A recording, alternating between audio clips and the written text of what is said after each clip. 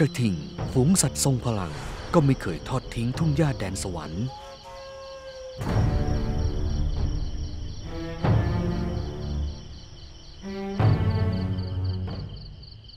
สีดำขมึนของร่างที่เต็มไปด้วยมัดกล้าม สังเกตเห็นได้ยากยามเช้าตรู่พวกมันเดินกินอย่างสบายใจในอากาศเย็นฉ่ำยังมีเวลาพอให้แทะเล็มหญ้าอ่อน ก่อนที่แสงอาทิตย์ จะทำให้มันร้อน จนต้องหลบออกจากทุ่งหญ้าไปเคี้ยวเอื้องในพุ่มไม้ชายป่า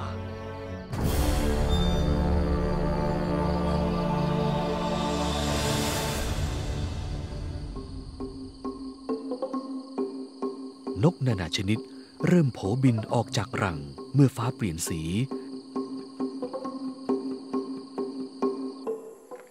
นกยางบินลงที่ฝูงช้าง และกระทิงอย่างเคย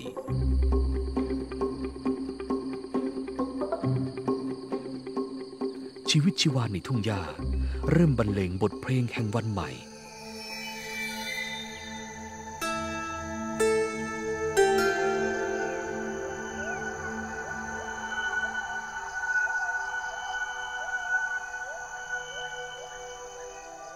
ดวงอาทิตย์ทาบแสงอ่อนลงบนยอดหญ้า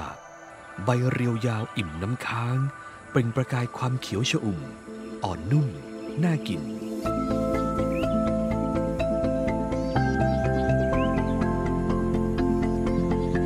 แม้แทบจะมองไม่เห็นความแตกต่าง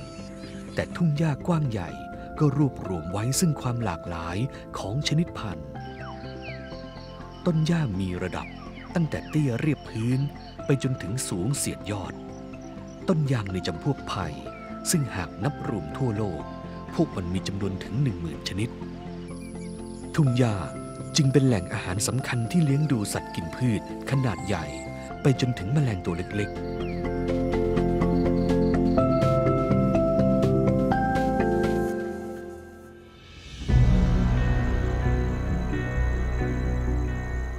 ในพุ่มหญ้า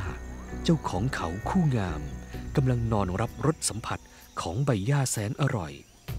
เขาที่ดูแข็งแกร่ง แต่กิ่งก้านคล้ายเขากวาง แต่มีขนาดเล็กกว่ามาก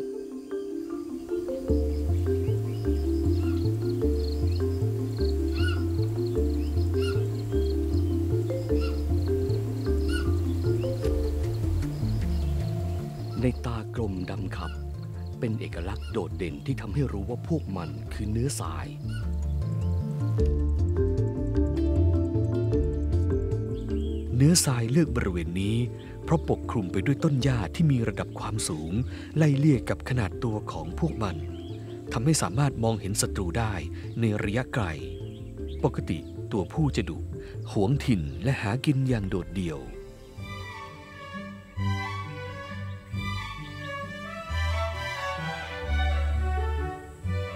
แต่ที่นี่เนื้อทรายกลุ่มใหญ่กระจายตัวอยู่ในพื้นที่เดียว